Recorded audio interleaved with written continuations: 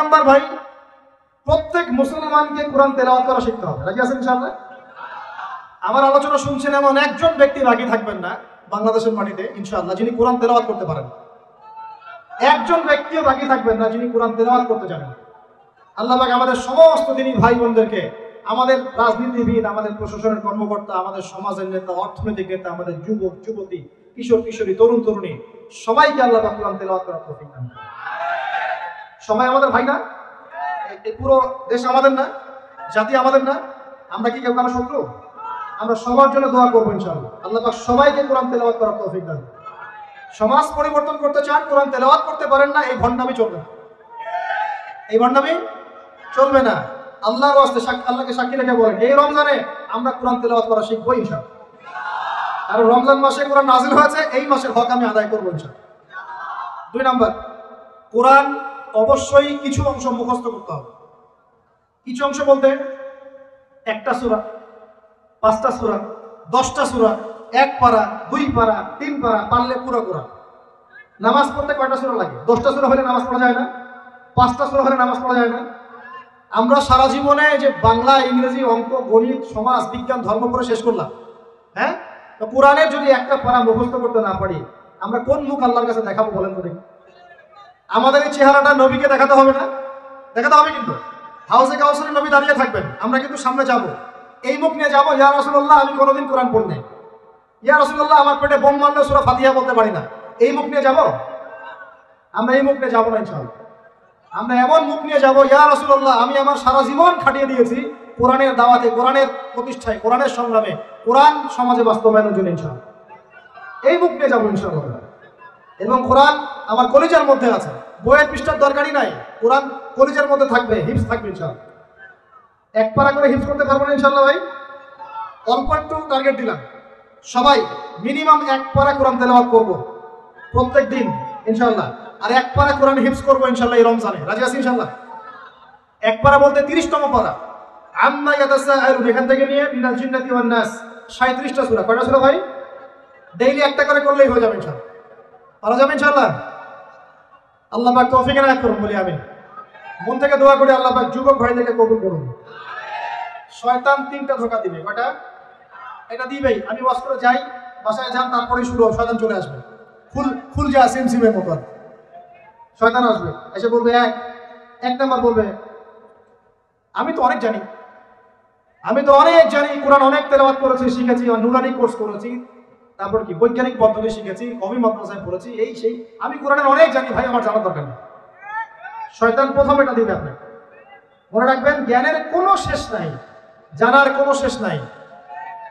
এখন আমার কাছে মনে হয়, ইসলামের আমি দশ পার্সেন্ট জ্ঞানও এখন অর্জন করতে পারি নাই। আল্লাহর কসম। আল্লাহর কসম করে বলছি। এটা আমার কাছে এমনই মনে হয়। দুই নাম্বার, শয়তান এসে বুঝাবে যে, তুই তো পারবি না রে বাবা, তোর দ্বারা হবে না। আমি পারব না রে ভাই, আমার দ্বারা হবে। এটা কঠিন। অফ, উচ্চারণ করতে আমার গলা ভেঙে যাচ্ছে। হ্যাঁ উচ্চারণ করতে আমার কষ্ট হচ্ছে। আমি পারব না রে ভাই, আমার দ্বারা এরকম বুঝায় না? আমার গলায় আমার আসে না, আমি পারব না, আমার বয়স হয়ে গেছে ভাই পারি না। এটা শয়তান বুঝায় আপনাকে, আপনি পারবেন ইনশাল্লাহ আপনি পারবেন ইনশাল্লাহ আপনিই পারবেন ইনশাআল্লাহ তিন নাম্বারটা মারাত্মক, এটা যুবকদেরকে বেশি বোঝায়। সেটা হলো, আরে এত তাড়াহুড়ার কি আছে? এখন অনেক সময় পরে আছে, পরে শিখে নিব। আগে কেবল বিয়েটা তো করি? বাচ্চা কাচ্চা হোক হ্যাঁ একটা বাড়ি করি, শেষ বয়সে গিয়ে শিখব, হজ করব, উমরা করব, চিল্লা দিব, কোরআন তেলাওয়াত করব। সেটা শিখায় না গেল বোঝায় না? যুবক ভাই, এই ধোকায় পড়ে বহু যুবক কবরে চলে গেছে অলরেডি এই ধোকায় পড়ে বহু মানুষ এখন কবরবাসী হয়েছে। তারা আল্লাহর কাছে প্রতি মুহূর্তে একটাই কথা বলে, রব্বানা আবসারনা ওয়াসামি'না ফারজি'না না'মাল সালিহান ইন্না মুকিনুন হে আল্লাহ, আমরা আজকে দেখতে পারছি, পরকাল আমরা দেখেছি। পরকাল শুনেছি, বুঝেছি।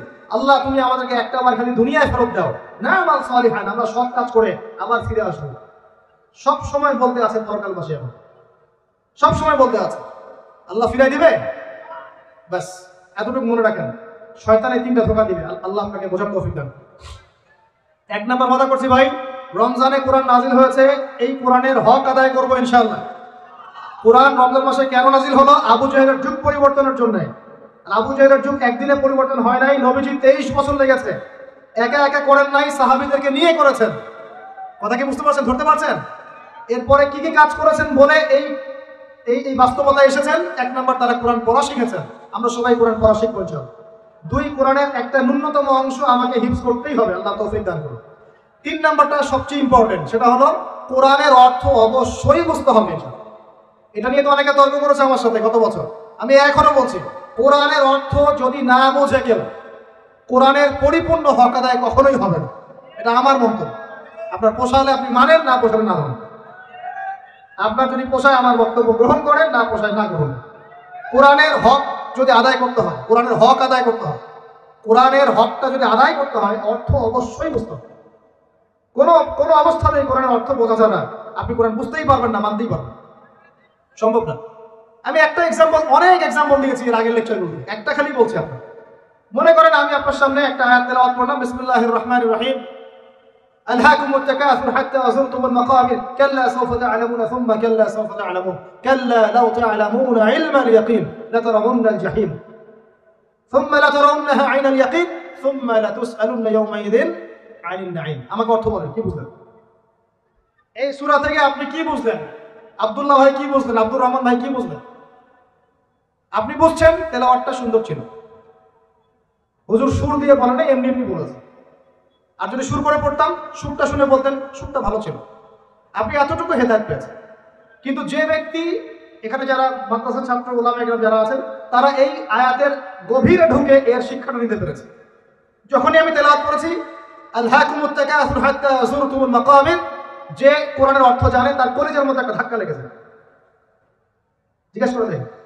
আল্লাহ বলেছেন, প্রাচুর্যের মোহ তোমাদেরকে মহাচ্ছন্ন করে রেখেছে। দুনিয়ার এই প্রাচুর্যের মোহ তোমরা এর মধ্যে ডুবে গেছো, মহাচ্ছন্ন করে রেখেছে। যতক্ষণ না তোমরা কবরে যাচ্ছ, কখনো নয়, শীঘ্রই তোমরা জানতে পারবা। অপেক্ষা করো, শীঘ্রই জানতে পারবা। তোমাদেরকে অবশ্যই জাহান্নাম দেখানো হবে এবং কে আমাদের মাঠে অবশ্যই তোমাদেরকে নিয়ামত সম্পর্কে জিজ্ঞেস করো। যে এই অর্থটা বুঝলো জানলো, তার তার কলিজার মধ্যে কোরআনের মর্মটা নাজিল হয়ে গেল না? সে কোরআনের হকটা কি বেশি আদায় করল না আপনার চাইতে? সে কোরআনের শিক্ষা অর্জন করতে পারল না? এখন এই আয়তের উপর আমল করলেই তো তার জীবন সফল। এখন বলেন, অর্থ বোঝার দরকার আছে কি নাই? এইভাবে প্রতিটা আয়াত যে ব্যক্তি জানে, সে তার জীবনটাকে সুন্দর করে বোঝাতে পারবে না। সে দুনিয়া আখেরাতে সফল হবে না, আমি হব। নিঃসন্দেহে সে ব্যক্তি সফল হবে। যে কোরআনের এবং সুন্দর অর্থ জানে এবং বোঝে, আমল করে। আল্লাহ পাক আমাদের সবাইকে কোরআনের অর্থ বোঝার তৌফিক এখন প্রশ্ন হচ্ছে, কীভাবে বুঝবে মাদ্রাসায় পড়তে পারলে আপনি অটোমেটিকলি বুঝে যাবেন। তবে অনেক মাদ্রাসাতে পড়েও কিন্তু অনেক অর্থ বোঝে না। এমনও আছে কিন্তু মানুষ। এটা তাদের সমস্যা, মাদ্রাসার সমস্যা না। মাদ্রাসায় পড়ানো হয় ঠিকই, ওই যে ফাঁকিবাস স্টুডেন্ট থাকে কিছু। আবার অনেকে জেনারেল লাইন থেকে পড়েও কিন্তু অর্থ বুঝতে পারে। সুযোগ আছে। আল্লাহ পাক এটা খাস করে দেন নাই কিছু মানুষের জন্য, এটা সবার জন্য কোরআন। এখন পদ্ধতি কি? আরবি ব্যাকরণ শিখতে হয়, আরবি ভাষা জানতে হয়, এবং ক্লাসিক্যাল মাদ্রাসার কিছু কেতাব পড়তে হবে।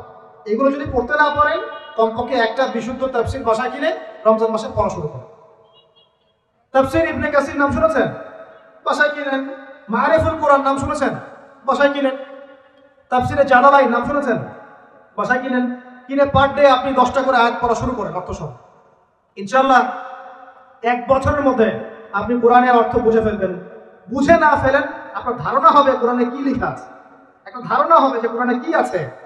আপনি কোরআন সম্পর্কে অজ্ঞ এবং অন্ধ থাকবেন না। আল্লাহ পাক আমাদের সবাইকে কোরআনের হক আদায় করার তৌফিক এরপরে কাজ হচ্ছে কোরআনের আদেশগুলো মেনে চলা। কোরআন আল্লাহ যত আদেশ দিয়েছেন, সবগুলো মেনে চলা। একই সাথে আল্লাহ যত নিষেধ করেছেন, নিষেধগুলোকে বর্জন করা। এই কাজগুলো করার পর আমরা যখন কোরআনের দাওয়াত মানুষের কাছে পৌঁছে দিব, ইনশাআল্লাহ আবু জাহেলের সমাজ পরিবর্তন হয়ে মুহাম্মদ সাল্লাল্লাহু আলাইহি ওয়াসাল্লামের সমাজ হবে ইনশাআল্লাহ